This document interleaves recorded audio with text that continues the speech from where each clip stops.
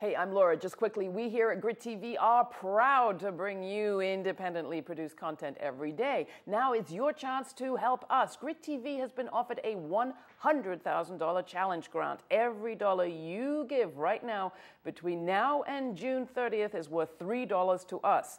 We've only got a few more weeks to meet the match. Will you help? You can donate at our website, grittv.org. Meanwhile, enjoy this clip.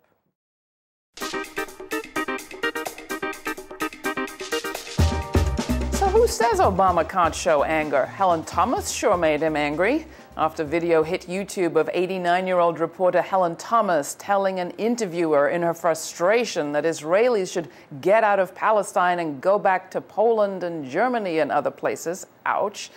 The White House issued an immediate, strong condemnation. Reprehensible was their word.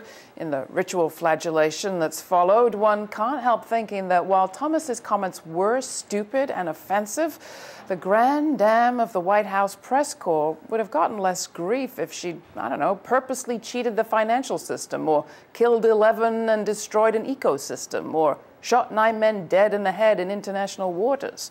Thomas's comments were regrettable, and she's regretted them, and she's resigned, which is more than can be said of most pundits who say hateful things in the money media.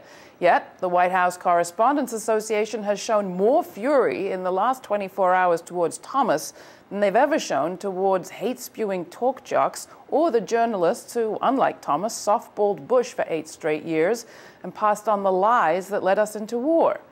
Sometimes a person's strengths are also their weaknesses, and Thomas was and remains a bulldog. She doggedly questioned President Bush about war and torture at a time when the rest of the press corps rolled over. In return, they now appear, appear more shocked by her comment, laced with 70 years of horrific history, it's true, but nonetheless more outraged by a comment than they are by the deaths of flesh and blood humans.